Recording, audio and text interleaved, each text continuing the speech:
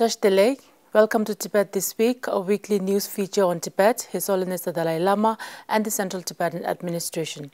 Let's have a look at today's headlines. His Holiness the Dalai Lama interacts with Muslim scholars from Malaysia, Sweden, and USA. Tibetan Parliament passes resolution of gratitude to Speaker Emerita Nancy Pelosi. Swiss National Council approves extraordinary humanitarian action a step closer to finding relief for Tibetans without papers. Japanese Sangha members issue statement denouncing Chinese interference in Tibetan religious issues.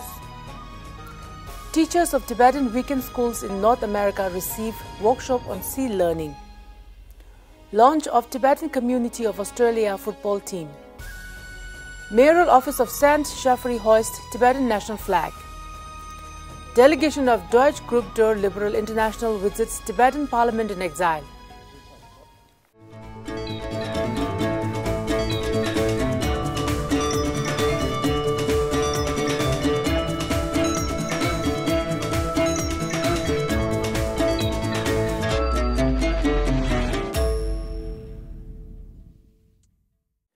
On Monday this week, His Holiness the Dalai Lama met with a group of Muslim scholars from Malaysia, Sweden and the USA. During his brief interaction, His Holiness the Dalai Lama spoke on the promotion of religious harmony as one of his four principal commitments for a peaceful and compassionate world. I always say, we human being. I never say only Buddhist, all human being. We are human brothers, sisters. We are same. And world, one planet, we have to live together. So biologically, we all brothers, sisters of this world. So no reason uh, quarrel in the name of religion. Religion come later. At the time of birth, no religion. Now religion, essence same. And if you accept religion, it's good.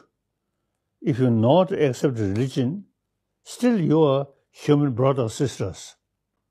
We have to live together. The Tibetan parliament in exile during its fourth day of the budget session unanimously passed an official resolution of gratitude to Speaker Emerita Nancy Pelosi for being one of the oldest and constant friend of His Holiness the Dalai Lama and Tibet. The Tibetan lawmakers expressed appreciation to the U.S. Speaker Emerita for strengthening the U.S. Congress bipartisan commitment to advancing the cause of Tibet in the U.S. Congress and lauded her fearless leadership, commitment and unyielding perseverance in defending the freedom, justice and democracy of those oppressed by China. The former speaker stepped down in November last year from the position after leading the U.S. House for more than two historic decades.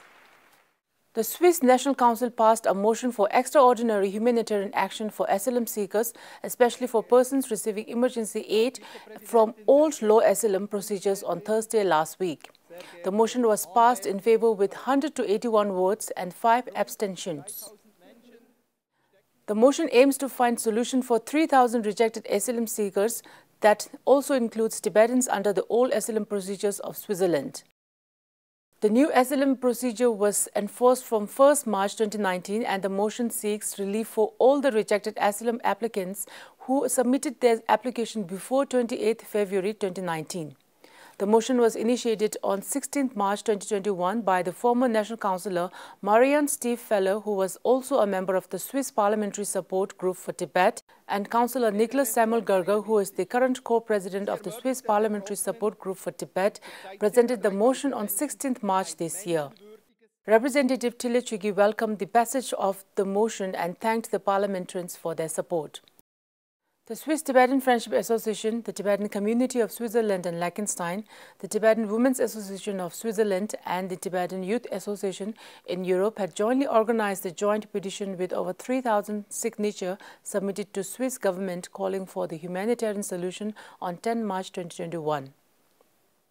Super Sangha, an association of non-partisan Japanese Buddhist Sangha members, issued condemned the continued religious repressions in Tibet and the Chinese Communist Party's insidious propaganda claiming authority to select the reincarnation of high Tibetan lamas, including the reincarnation of the 14th Dalai Lama. The statement was issued on 10 March and read during the 64th anniversary of the Tibetan National Uprising Day function on 11th March in Tokyo. Venerable Kobayashi Shui and Venerable Ono Jokan of Super Sangha visited the liaison office of His Holiness the Dalai Lama and handed over the statement officially to Representative Dr. Arya Tsewang Gyalpo. Representative Dr. Arya Tsewang Gyalpo thanked the Super Sangha delegations for the statement and for the continued support for Tibetans' struggle for peace and justice. Similar statements were issued by Japan Buddhist Conference for World Federation last year and Tibet Support Group Japan in the last month. The Office of Tibet Washington, D.C. and the Tibetan Association in Northern California jointly organized a workshop on SEE Learning for teachers of 18 Tibetan weekend schools in North America from 17 to 19 March.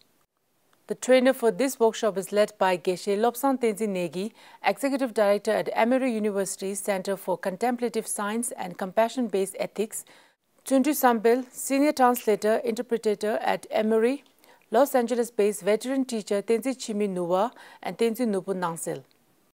The inaugural of the three-day workshop was attended by Representative Dr. Namgyal Choedup, Tibetan Liaison Officer Kunga Tashi, TANC President Jimba Tharjin, and Nam Chogyul School's Principal Kesan Doje. The worldwide initiative of SEE Learning is based on the guidance of His Holiness the Dalai Lama to promote a holistic education of heart and mind. In the presence of Representative Karma Singey of Office of Tibet, Canberra, the Tibetan community of Australia formally launched its football team on Friday last week. The Australian Tibetan community is sending their team for the first time to participate in the Gyalyum Chemo Memorial Gold Cup to be held in Dharamshala in June this year. In an expression of dedicated support towards the cause of Tibet, the mayoral office of St. Chaffrey organized a Tibetan flag hoisting ceremony on Monday this week.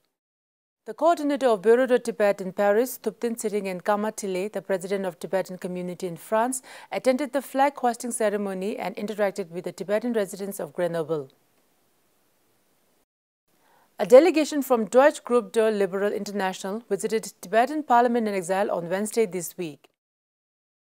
The delegates were received by Deputy Speaker Dolma Tsering Teykhang at the Standing Committee's hall.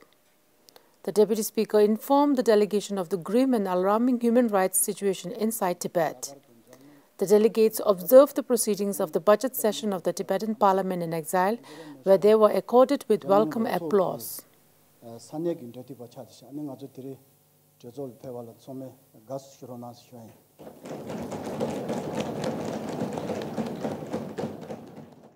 That is all for this week's news edition on Tibet This Week. Thank you for watching Tibet TV.